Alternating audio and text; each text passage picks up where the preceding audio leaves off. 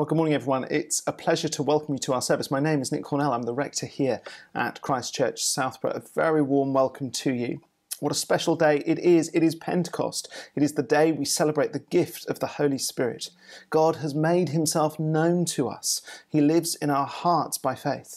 He wants to help us. He gives us power through the gift of the Holy Spirit.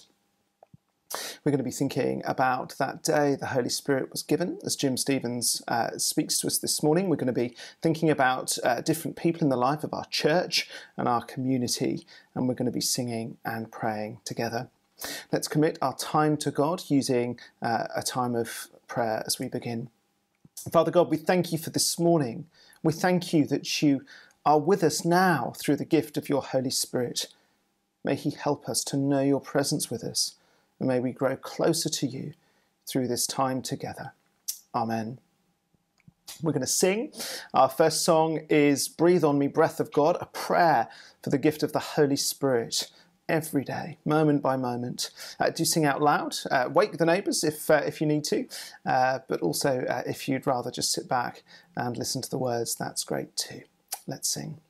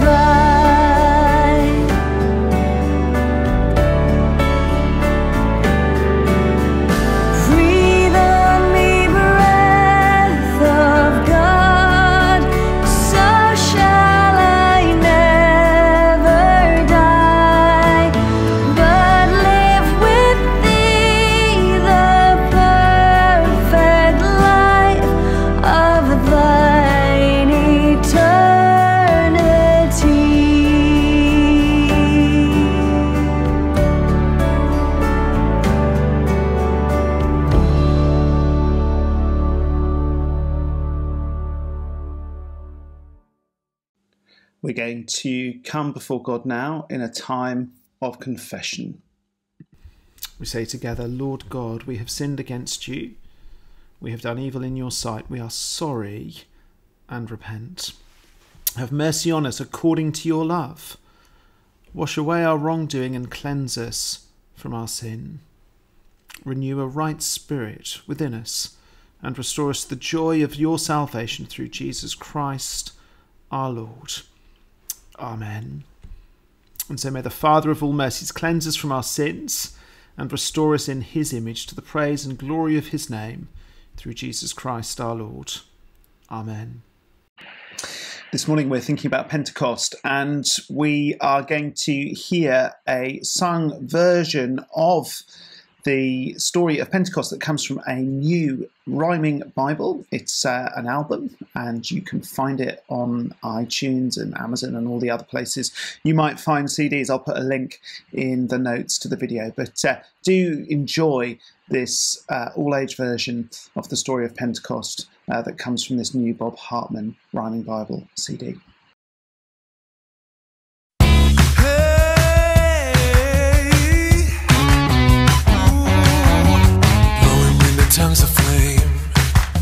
And then the Spirit came, blowing wind and tongues of flame, and everything was changed. Gathered in an upstairs room where Jesus' friends together. But when the wind began to blow, it wasn't just the weather. God's Holy Spirit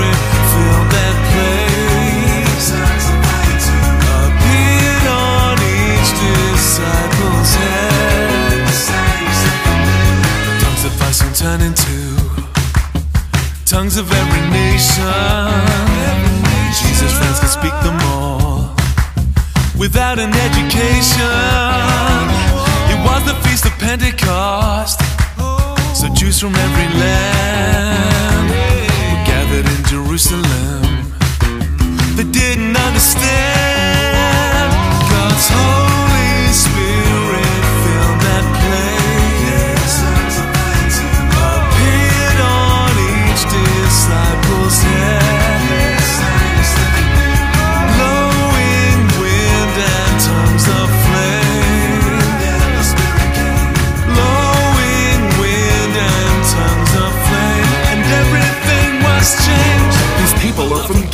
but somehow they can speak to each of us in our own tongues in Latin, French, and Greek. But one man, not so courteous, said, This is what I think. They're babbling, they make no sense, they've had too much to drink.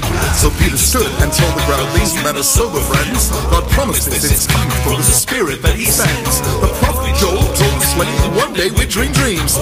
Men and women, old and young, that day has come. It seems. For God's own Spirit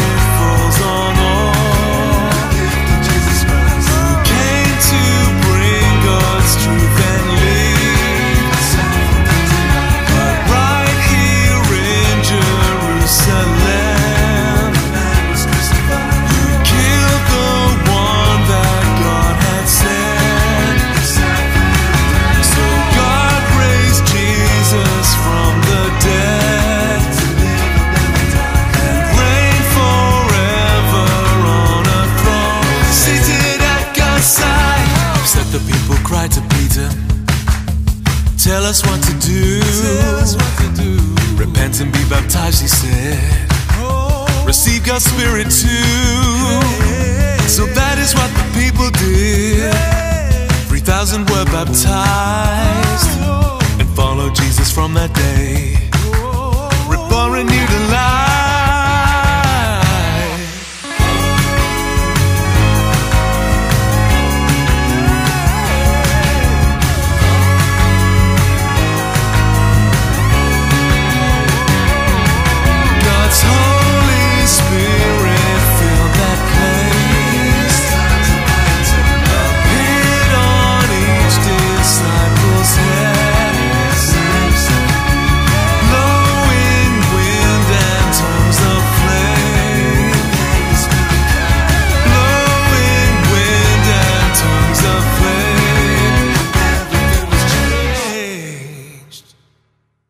We're going to have our reading now, and uh, Pauline is going to read to us the Bible readings on the screen if you're looking that up. Uh, and Jim is going to come in straight after Pauline has read to us and uh, share God's word with us.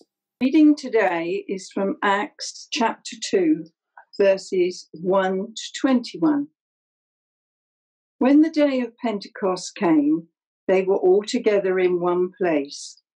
Suddenly, a sound like the blowing of a violent wind came from heaven and filled the whole house where they were sitting. They saw what seemed to be tongues of fire that separated and came to rest on each of them. All of them were filled with the Holy Spirit and began to speak in other tongues as the Spirit enabled them. Now there were staying in Jerusalem God fearing Jews from every nation under heaven.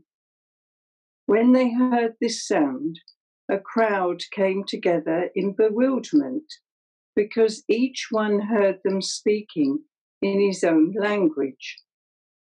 Utterly amazed, they asked, Are not all these men who are speaking Galileans? Then how is it that each of us hears them in his own native language. Parthians, Medes, and Elamites, residents of Mesopotamia, Judea, Cappadocia, Pontus, and Asia, Phrygia and Pamphylia, Egypt and parts of Libya near Cyrene, visitors from Rome, both Jews and converts to Judaism, Cretans and Arabs. We hear them declaring the wonders of God in our own tongues. Amazed and perplexed, they ask one another, What does this mean? Some, however, made fun of them and said they've had too much wine. Then Peter stood up with the eleven, raised his voice, and addressed the crowd. Fellow Jews, and all of you who live in Jerusalem, let me explain this to you. Listen carefully to what I say. These men are not drunk, as you suppose. It's only nine in the morning. No, this is what was spoken by the prophet Joel. In the last days, God says, I will pour out my spirit on all people. Your sons and daughters will prophesy. Your young men will see visions. Your old men will dream dreams. Even on my servants, both men and women, I will pour out my spirit in those days and they will prophesy. I will show wonders in the heaven above and signs on the earth below blood and fire and billows of smoke. The sun will be turned to darkness and the moon to blood before the coming of the great and glorious day of the Lord. And everyone who calls on the name of the Lord will be saved. Thanks be to God. Good morning to you all. What an extraordinary day that really was. All present that morning suddenly heard a sound like the blowing of a violent wind which filled the whole house, but the air didn't move. Then what looked like a great mass of flames appeared above them, which separated out and came to rest on each one of them. No one missed out. No burnt hair or scorched head coverings. Feel the awesomeness of this. Then they began to speak in a great variety of languages alien to them, declaring the wonders of God. And this went on for a considerable time, sufficient for a large crowd of God fearing Jews who are gathering from every nation for the feast of Pentecost. They were amazed and perplexed as each heard the wonderful words of God in the language used back home. Wind and fire are often symbolic in the Old Testament of the presence of God who speaks. All three things present that morning. Who was there that morning, gathered together? In the opening chapter of Acts, Luke, who wrote that book, tells us that the company of believers was about 120 the 12 apostles, the women who'd been with Jesus, other men and women who had a love for him, and their children. Why had they gathered?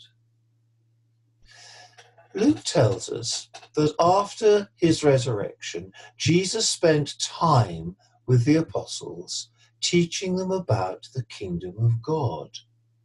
And that very shortly they would be baptized with the Holy Spirit plunged into, immersed in the Holy Spirit. And they were to wait in Jerusalem for this gift of God the Father.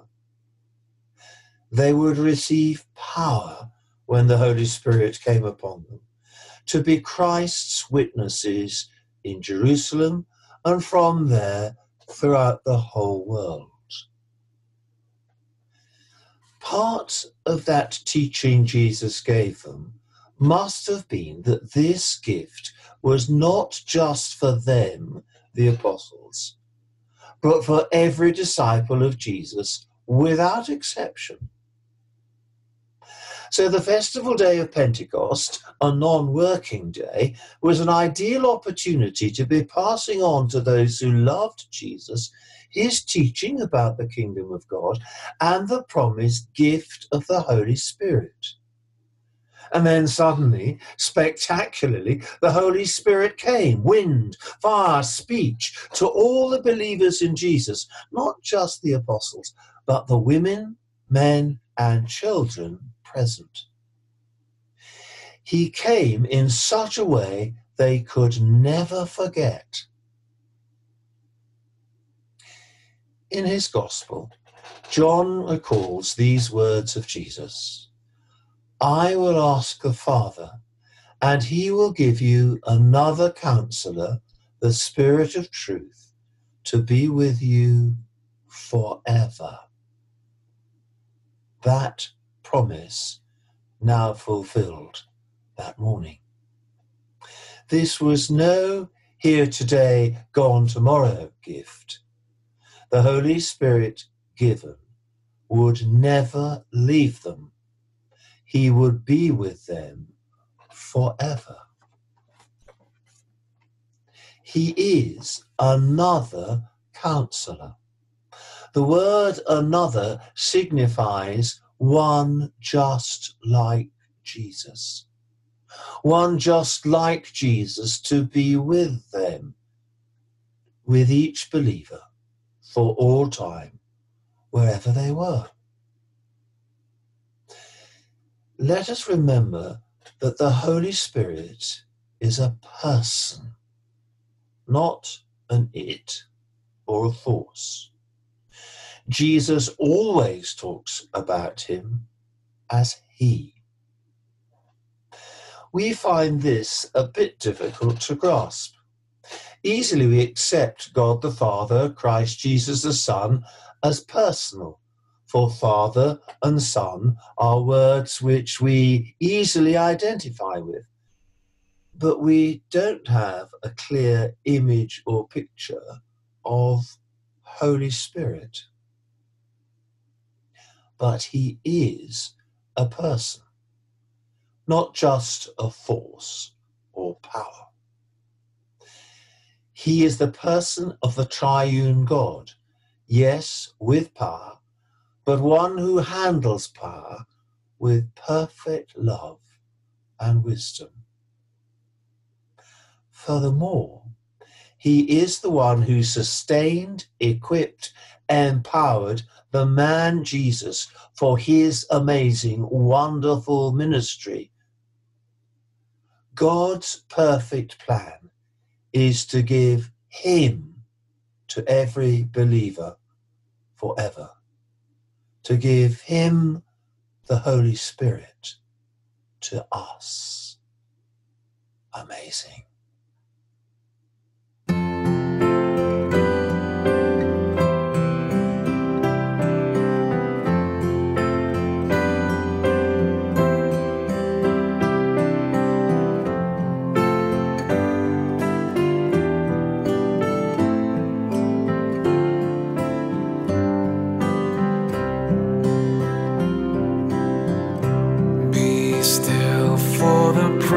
Presence of the Lord.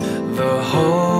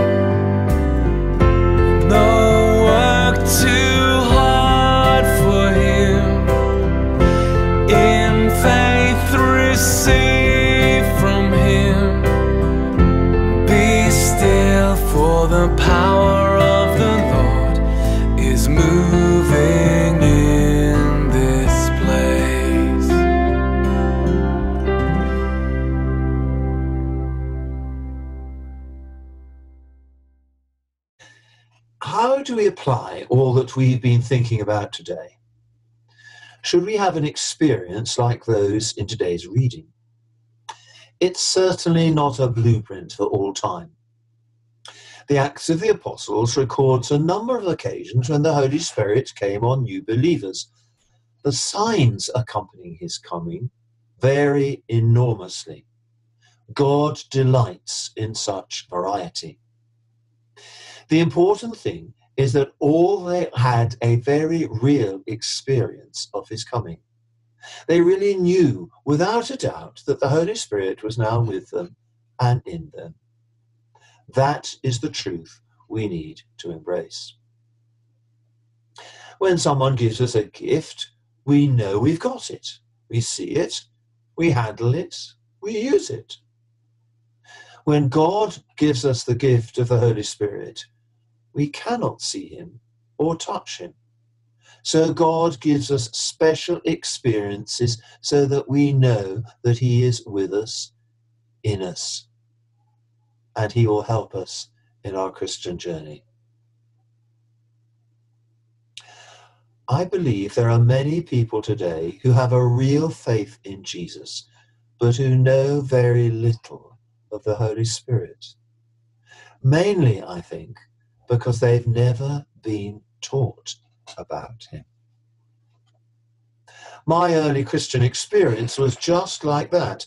I realized Christ died for me. I asked for his forgiveness, invited him to be Lord of my life, joined the church. And all that is good and true, but there was no mention of the Holy Spirit.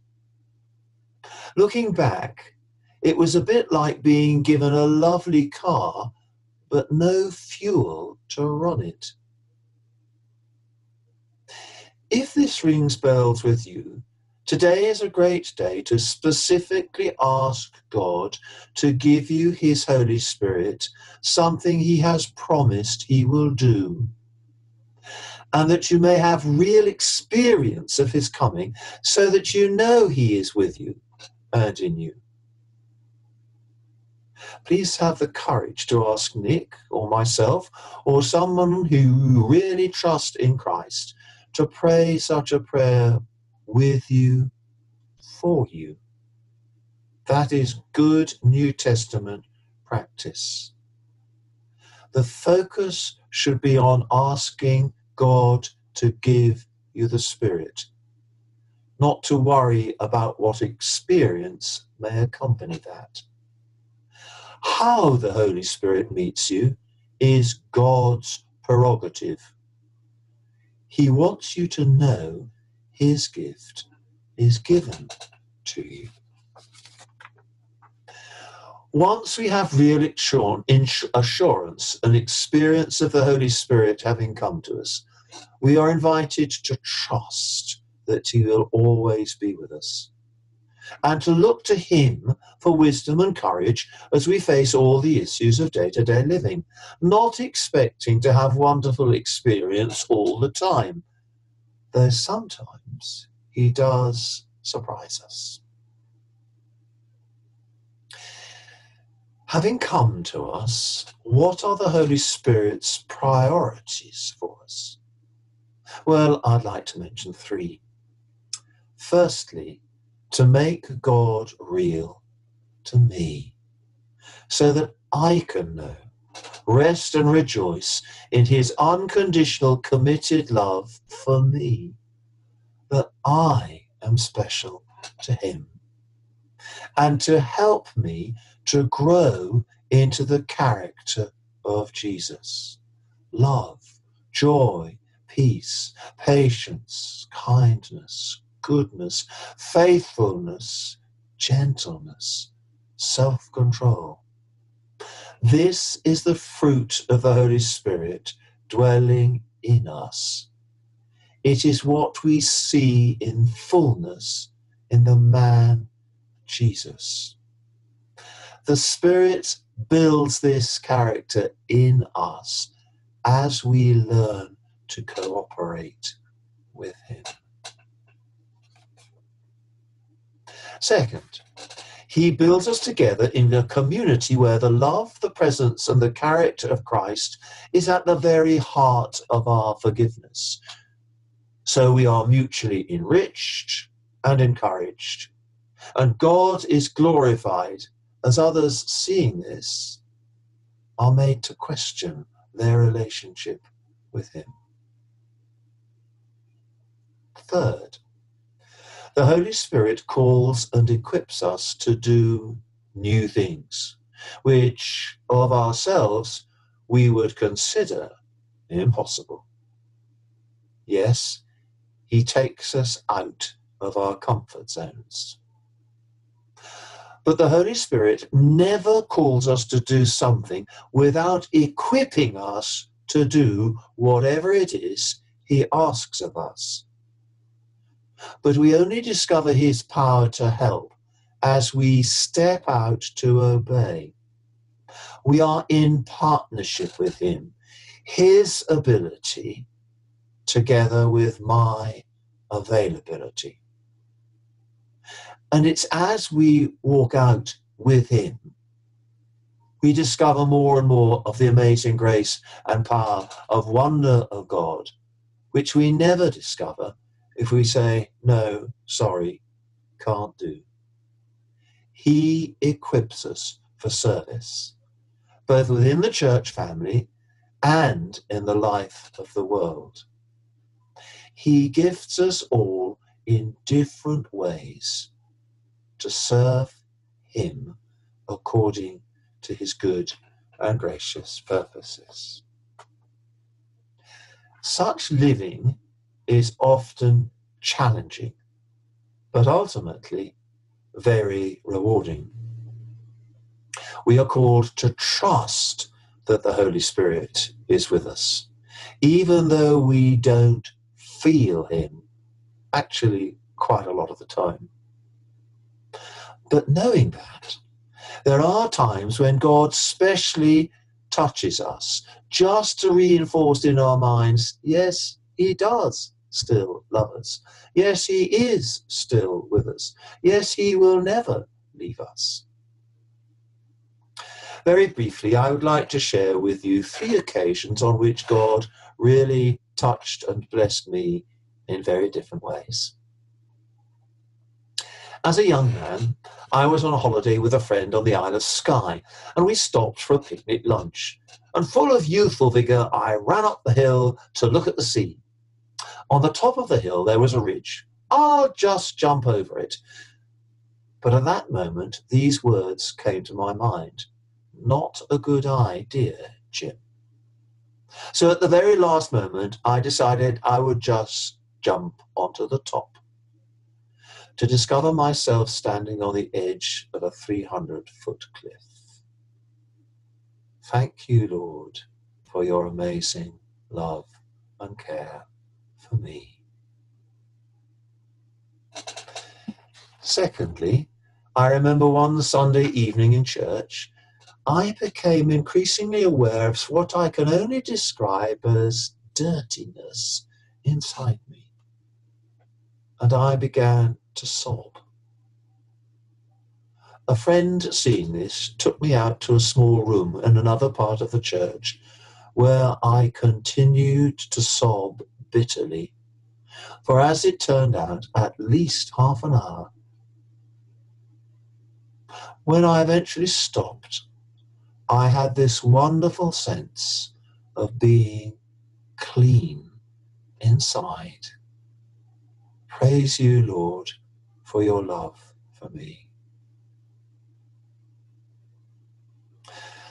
My last picture is when I was invited to preach at my old school, Oakham, on Sunday morning.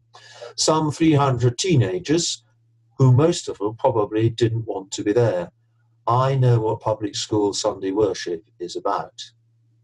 Well, I prepared well, but as I came to the occasion, I was scared.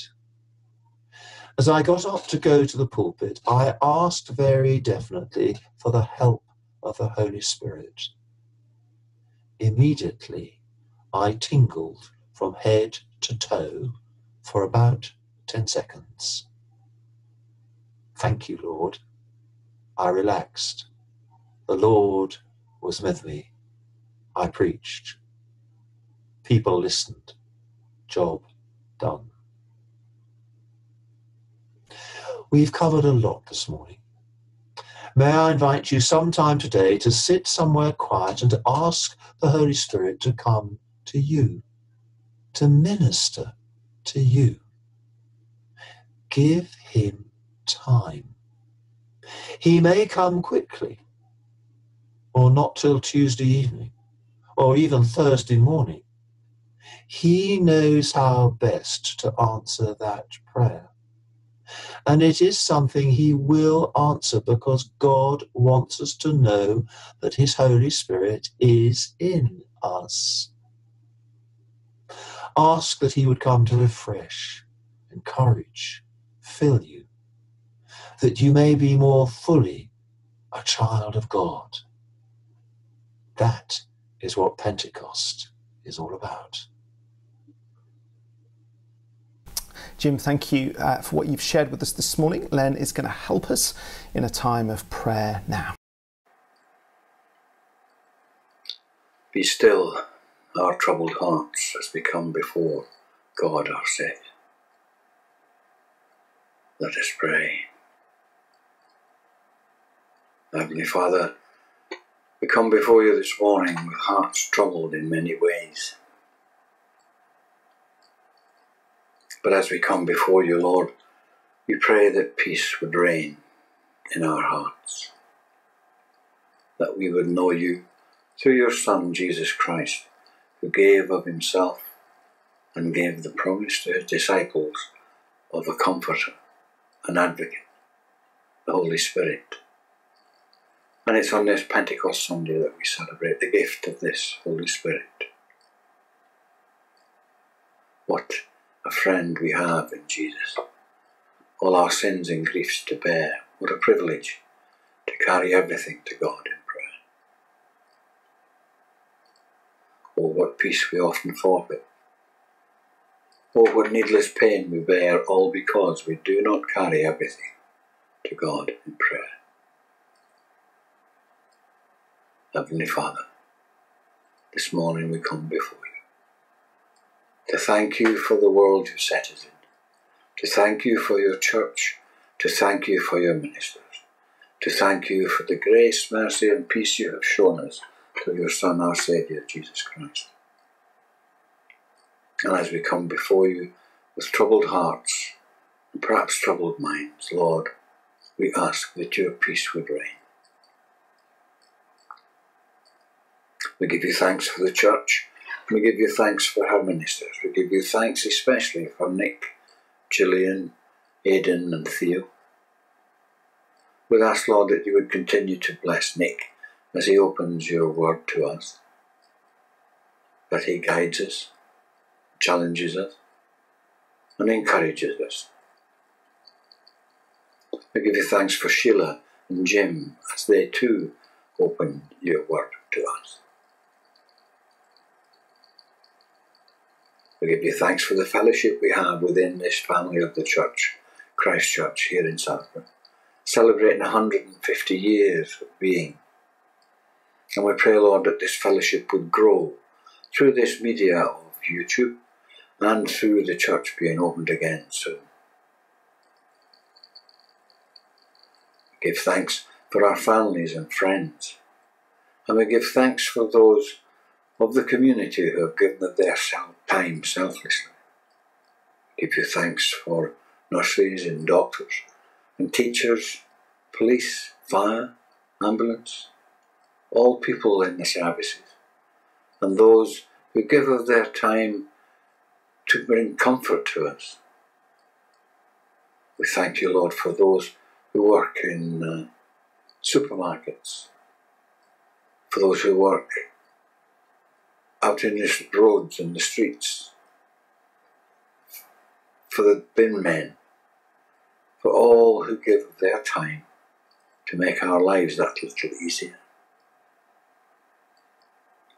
Heavenly Father, we'd ask that you give wisdom to all in authority, especially at this time, and that they would be honest with us.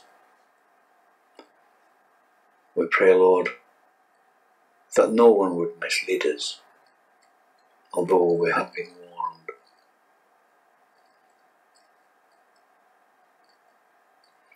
Last week, or a week or so ago, we heard from Abby and Sam in Uganda and the trials and tribulations that they are going through. And we think of the rest of the world, Lord, also hit by this coronavirus. We pray for sensibility, that people would understand the needs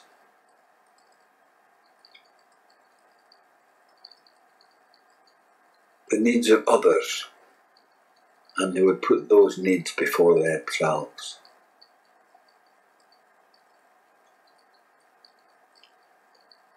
Have we trials and temptations? Is there trouble anywhere? We should never be discouraged if we take it to the Lord in prayer. Can we find a friend so faithful who will all our sorrows share? Jesus knows our every weakness. Take it to the Lord in prayer. There are those of our fellowship, Lord, who are struggling in body, mind, and spirit. And we pray especially for Paul and Diane Avery this time. Personally, we may know individuals who need your presence, Lord, and we lift them to you now.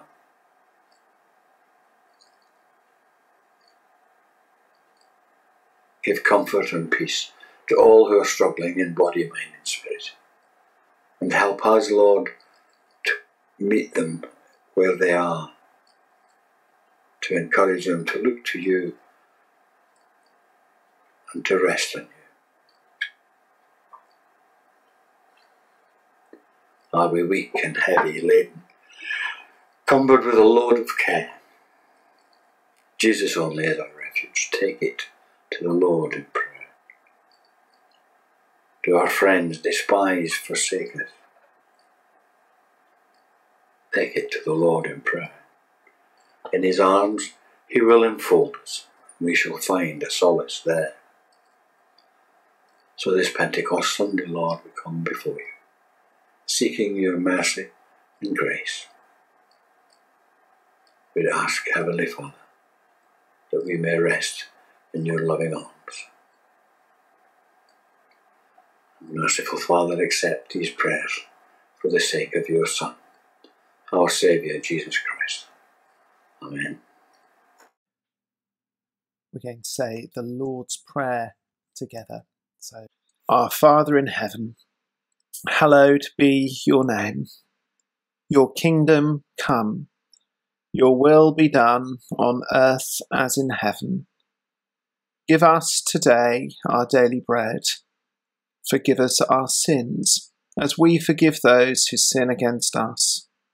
Lead us not into temptation, but deliver us from evil, for the kingdom, the power, and the glory are yours, now and forever. Amen. We're going to have a time uh, catching up with uh, a member not of our church community as such, but uh, our wider community, someone we support through the work of our missions committee, who uh, gives some of our income to support local mission and international uh, work. And we're thinking locally today as we catch up with Catherine from Crossteach. Well, Sue does anyway, as uh, Sue spoke with Catherine a couple of weeks ago to hear about life during this time of lockdown. And uh, we hear a little bit about what uh, Catherine and the rest of the Crossteach team are doing. Uh, if you don't know, Crossteach is uh, a national uh, group which uh, looks after schools. They go into schools, they do after school clubs and collective worship, that sort of thing. And uh, we have links with the Tunbridge Wells team. Morning, everybody. It's lovely to uh, be with you. And today we are meeting up with Catherine from Crossteach. Hi, Catherine. Hi. Um, hopefully, some of you will recognise her. Um, obviously, she's a great friend of mine because we uh, camped together in the summer. Uh, but Catherine works for Crossteach, and obviously going into um, schools which are not open at the moment. How's that really affected what you've been able to do uh, whilst uh, we've been in lockdown? Yeah, obviously, so that's our our main um, reason for being is to go in and teach about the Christian faith in schools, and so that's really put the put the kibosh on that one. Um, uh, so most of our staff are currently on furlough. Um, we're really thankful to God for this um, furlough scheme that the government are um, are offering, um, which means that uh, we are on furlough and not working currently, but up until the end of March, beginning of April, we were able to produce a lot of um, materials for schools that we were aiming to go into. We had a lot of lessons planned in and Easter experiences for those who know what those are, sort of a one hour session. Um, looking at the Easter story. So we were able to produce a lot of material up until that point. So we're really thankful for that um, and they've been really well received in terms of the schools that we've had contact with. Um, and so uh, we were able to do a bit of work, but yeah, not not doing a lot of work at the moment, um, and just trusting really that uh, whenever the schools reopen, we're able to go back in and continue um, as we were. Yeah. So how how are you planning going forward on that one then? Uh, it's quite it's a quite a hard thing to know kind of what we're doing. Um, Wayne and the trustees are looking at um, how we can keep going as we uh, have done. Um, in terms of uh, sort of working in the way forward, we're consulting with uh, churches and local supporters and schools in terms of what what that will look like going forward. Um, so just really they're sort of doing a lot of work on that. Um, it's slightly unclear at the moment in terms of what that will look like. Obviously, I think schools don't really know what that will look like at the moment, mm. um, but we trust that God is in control and uh, has a good plan. So, how can we best support you at the moment and looking mm. to the future? Great. Uh, I think the majority would be brilliant if you uh, could pray. Just pray for wisdom for Wayne and the trustees um, as they're uh, liaising with different people and uh, thinking and praying about uh, how it's wise to continue. Um, pray for the staff on furlough. Um, I think most of us are enjoying it quite a lot, um, but I think um, sort of looking ahead, um, we'd love to be continuing in our work. And so pray for patience and joy um, and uh, good growth, I suppose, as we carry on. And also pray for the young people. I think um, a lot of the our weeks were sort of meeting up with young folk in Christian unions and clubs at school, um, doing assemblies. So there's hundreds of children that we're been working with, um, but we've not been able to share uh, the good news of Jesus with so far. So pray for them. Pray that God would be working in them and through them and in their situations that Christians would be really encouraged where they are, um, part of their churches, um, and they might be able to share the good news with their friends too. Um, so pray, mm. please. That would be amazing. Thank you. Thank you so much. Uh, so let's remember uh, Catherine and for Carissa and Sophie Ann based in Tunbridge Wells. Uh, they're our local team. And uh, let's remember those in prayer this week. Thanks, Catherine, mm. and take care. Thanks so much. Bye. See you soon. Bye. Some notices for this morning. Last week we launched our online giving page. It's a way in this time of lockdown where it's more difficult to uh, get money through uh, the collection at church or through envelopes. It's a way for you to give online. It's uh, the, the system that's been recommended by the Church of England. They're subsidising the setup costs for churches. Thanks to everyone who gave it a try last week. Uh, I've used it as well. It's, it's very straightforward. Uh, there's a web address on the screen or a code that you scan with your smartphone, and uh, it'll direct you to our giving page. Uh, very simple, very easy. You put in your direct uh, your not your direct debit, your uh, debit card or your credit card. you click a couple of boxes, and that's it you're done. And uh, if you would like to claim gift aid, which can I recommend you do if you're a taxpayer, it, you, just an extra box, uh, an address, it takes you a couple of seconds more, but it does increase your donation to the church by uh, 25%. So please do that if you can. Uh, if uh, if not if you missed all of that, uh, if you dig into the description uh, below the video on YouTube, uh, all the links you'll need are there. And as every week, on those links are uh, various things uh, that you might find useful or interesting. And while you're there, if you've not subscribed to our channel, just click subscribe. Uh, if, uh, if you're logged into YouTube, that means you'll see all our videos uh, when you log in. Um, let's just pray, shall we, giving thanks to God for the gifts that we receive as a church. Father God, we've been thinking this morning about the gift of the Holy Spirit. We praise and thank you for your generosity, Father, as we give to you in, in, in time and money and energy, uh, we pray that those gifts uh, would be used for your glory. We know that all things come from you, and of your own do we give you. Amen. Can I also just say a huge thank you to everyone who gives by standing order. Uh, that is really helpful and has been uh, uh, so important as we uh, experience a time of, of, of difference in terms of meeting as church. Thank you. Well, uh, we're going to meet again for church coffee after the service on Zoom. I look forward to seeing you there. We're going to uh, close our service in just a moment with a prayer of blessing, but uh, we're going to sing after the prayer of blessing. Just a word on our song. Uh, Sue has recorded a version of Holy Overshadowing. We've missed our church musicians. It's great to have Sue uh, singing for us this morning. Thank you, and uh, we look forward to more. Uh, but before we uh, sing, let's pray our final prayer of blessing.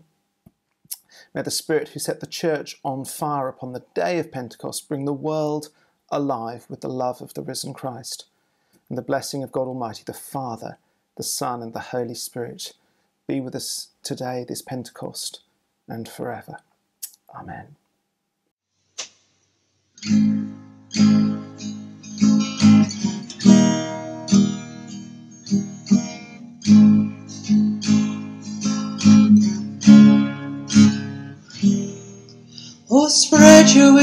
Wings of mercy over me and guard my heart with true humility.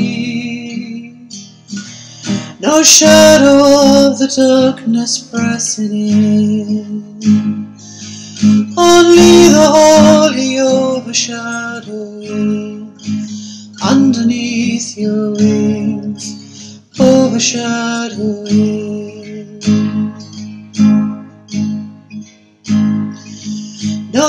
Refuge will I seek but God alone. No hiding place save only at your throne. Only the cross, the blood to wash my sin. Only the holy overshadowing underneath your wings, overshadowing.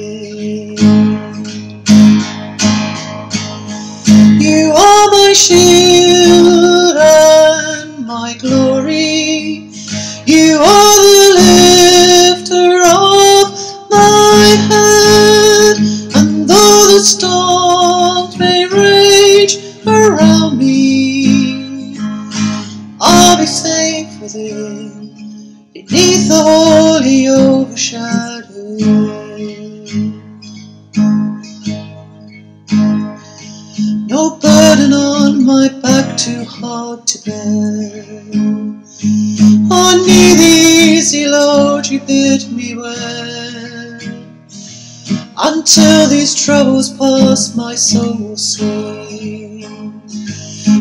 Praise to the holy overshadowing underneath your wings, overshadowing. You are my shield.